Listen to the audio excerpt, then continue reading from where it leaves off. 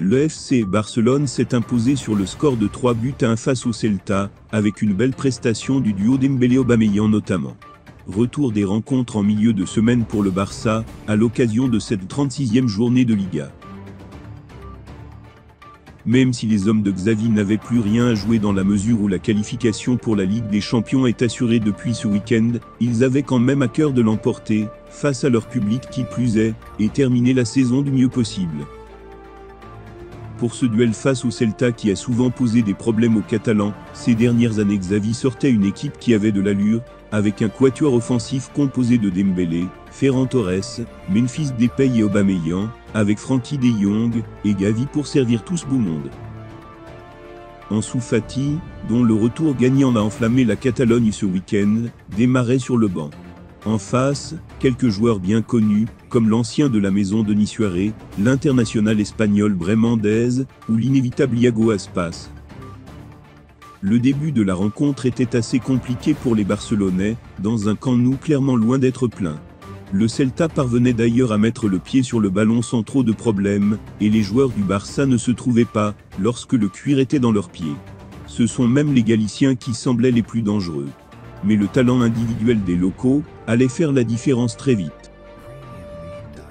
Dembélé récupérait le côté flanc droit, mystifiait plusieurs défenseurs et adressait un caviar à des qui, du plat du pied au niveau du point de penalty, faisait trembler les filets un but à zéro à la 30e minute de jeu.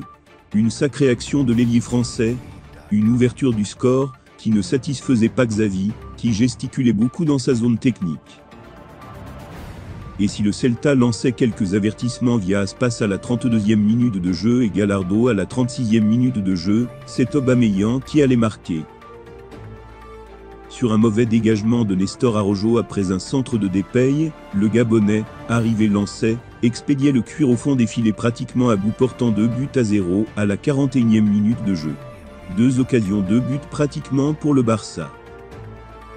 Pour la deuxième période, Xavier repassait en 4, 3, 3, pas convaincu par son 4, 2, 3, 1 du soir.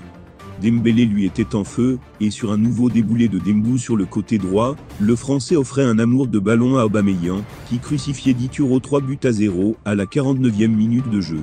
Quelle soirée pour les deux hommes Le but de la victoire marqué André Terstegen, ne voyait pas les choses de cet œil-là, puisqu'après une mauvaise relance de l'Allemand, Iago Aspas réduisait l'écart 3 buts à 1 à la 50e minute de jeu. Heureusement pour les Barcelonais, Murillo, qui a d'ailleurs vaguement joué au Barça, était expulsé quelques minutes plus tard. Après une grosse frayeur générale au Camp Nou Ronald Arrojo, devait sortir sur ambulance à cause d'un coup à la tête, la rencontre reprenait, et Yago Aspas était à deux doigts de frapper à nouveau à la 70e minute de jeu. L'entrée dans Soufati redynamisait un Barça un peu endormi depuis le deuxième but d'Aubameyang, alors qu'un but était refusé à Ricky Puig.